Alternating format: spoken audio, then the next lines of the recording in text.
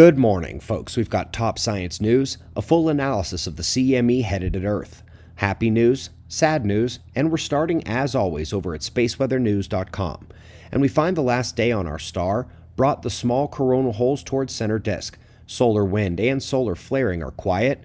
The sunspots really haven't developed or decayed too much, but they are small and not very active.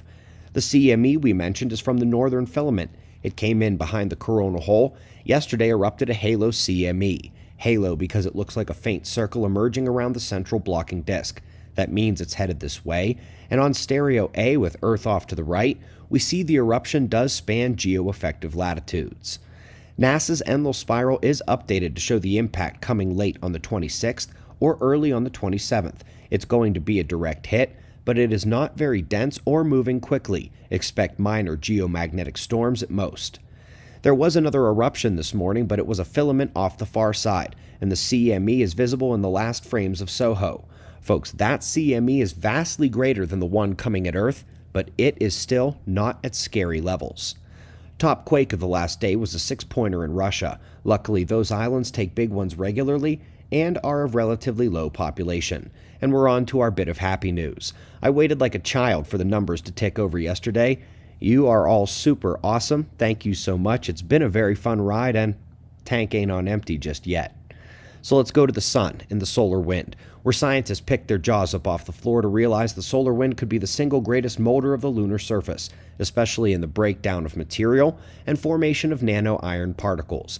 It's a ways away from the elemental delivery in the solar wind, but it's a step towards right when you take meteoritic forcing down a peg where it belongs. Folks, I missed this one earlier in this year, but better late than never.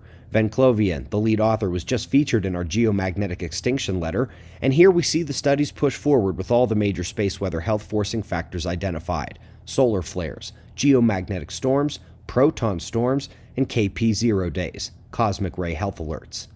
Awesome study up next for a few reasons. First, because they keep spotting nova remnants in plain sight, they keep finding different pre and post nova conditions. They track this one to its remnant cloud, and based on its speed, it has to have occurred about 12,000 years ago.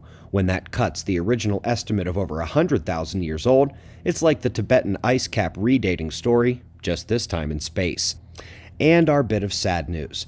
Folks, we had moved stores a couple months ago trying to avoid what's happening now, but it's happened. If you heard about Colorado's internet tax laws killing small businesses, it's killing our store.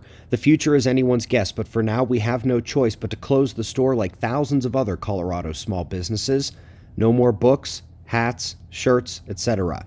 If you want any of the books or the gear, the store is going away this week, maybe even tonight.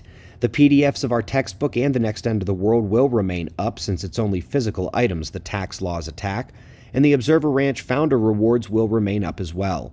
Sharing these books with you has been one of the great honors of my life, and while I say it every day, today I hope the desperation is well veiled in the tones when I say that we greatly appreciate your support. We've got wind maps and shots of our star to close. Subscribe, and we'll do this all again tomorrow. Right here, but right now at 6 a.m. in the new Valley of the Sun. Eyes open, no fear. Be safe, everyone.